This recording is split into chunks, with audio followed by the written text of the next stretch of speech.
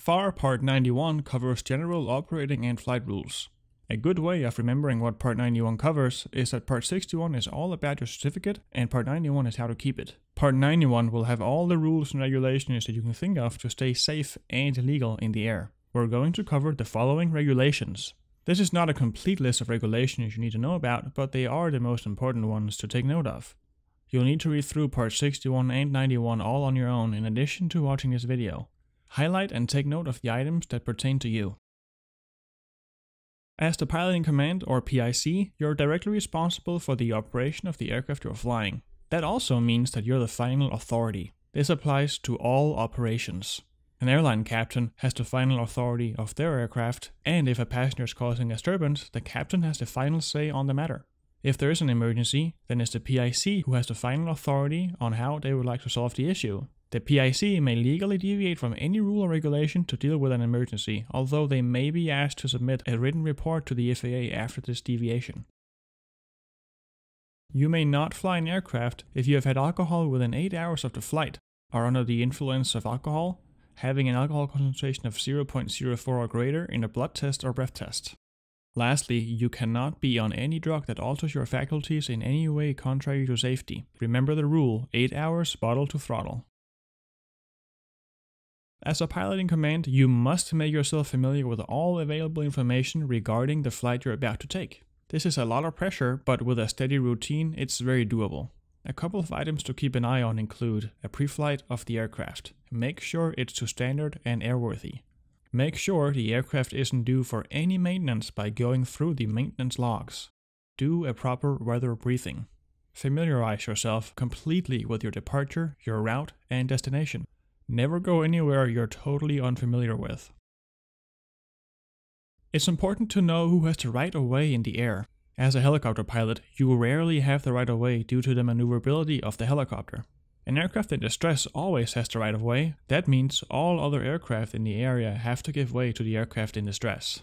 If two aircraft are converging, then there's a tier list you must follow to give the appropriate aircraft the right of way.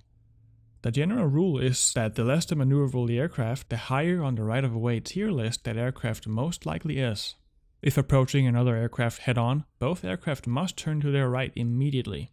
The aircraft on final has the right of way. Final is the portion of flight where the aircraft is lined up with the runway and getting ready to land. If two aircraft are landing at the same time, the aircraft at the lowest altitude has the right of way. This is not to be abused, but it does happen from time to time in uncontrolled airports. If it does happen, don't start a fight on the radio. Stay professional and either let it go or talk to the person calmly on the ground after the flight. Except when necessary for takeoff and landing, you cannot fly an aircraft at a low altitude that wouldn't allow for a safe landing in case of an engine failure. This is up to the pilot's discretion. Never fly low and slow. For most of aviation, you have to stay at least 1000 feet above the highest obstacle when flying over a congested area. A congested area can generally be considered any place where people are living. This doesn't apply to helicopters though. As a helicopter pilot, you're free to fly at whatever altitude you deem safe as the PIC. You just have to comply with any direction the ATC gives you. That means if you're flying within the class Delta airspace at 200 feet and they're telling you to climb, then you have to initiate a climb. In case you're wanting to land at an airport and happen to lose your communications, every ATC facility will have light signals to communicate with you. These are also referred to as light guns, as the controller will have to manually aim them directly at you. If you're in the air and see a steady green signal, you're clear to land. It really helps to have a chart like this one with you in flight. Running out of fuel in flight only has one person responsible, the pilot in command. It's an unacceptable emergency to have happen as it's easily avoidable with proper planning. Many of the regulations in the FAR-AIM exist due to an event having happened. 91-151 states that you must land at your destination with enough fuel left to fly an additional 20 minutes at cruise speed, taking winds and forecast weather into consideration. Flying with low fuel is sure to get your heart rate going. Don't mess around with minimal fuel. Conduct proper pre-flight planning and make sure you have adequate reserves to complete the flight safely. To fly in different classes of airspace, you'll need to be able to adhere to specific requirements such as a minimum visibility and cloud clearance. For example, to enter a Class Delta airspace, you must have at least 3 statute miles visibility and be able to maintain 500 feet below the clouds, 2000 feet horizontally of the clouds, and 1000 feet above them. A statute mile is the same as a normal mile when driving. A nautical mile takes into consideration the curvature of the Earth and is used at sea. A nautical mile is slightly longer than a statute mile for that reason. The airspace triangle will help you effectively memorize the basic VFR weather minimums. Draw it up until you're able to do so from memory. It'll help you greatly as this is the information you need to have readily available at all times as a pilot. This will come up on any test. One thing about the basic VFR weather minimums that's different between helicopters and airplanes is that helicopters are able to fly with just half a mile visibility and remain clear of clouds in Golf airspace in less than 1,200 feet above ground level. During nighttime, the visibility requirement is up to 1 mile. This leaves helicopters at a very flexible and possibly dangerous spot. Know your personal limitations and know what's safe to fly in. Just because it's legal doesn't mean it's safe or smart.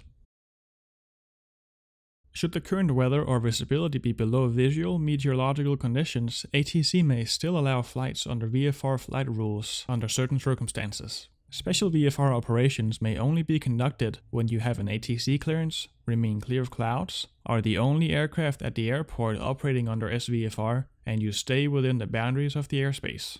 A helicopter can operate with zero visibility with an SVFR clearance as long as it remains clear of clouds. SVFR can be requested in all classes of airspace except for Alpha. SVFR is available at day and night. Please note that airplanes have very different requirements to operate under SVFR. An aircraft needs a minimum amount of instruments and equipment to be airworthy. Part 91205 explains in detail what your aircraft needs, there are two lists to become familiar with equipment needed for VFR flight during the day and equipment needed for VFR flight during the night. I'm going to cover the instruments required for a piston engine helicopter such as the Robinson R22. What you're going to need is an airspeed indicator, an altimeter, a compass, a tachometer, an oil pressure gauge, an oil temperature gauge, a manifold pressure gauge, a fuel gauge, and safety belts. Memorize this list by using the acronym CAMASFOOT. For nighttime, you're going to need the daytime instruments plus spare fuses, a landing light, anti-collision lights, position lights, and a source of power. Memorize this list by using the acronym FLAPS.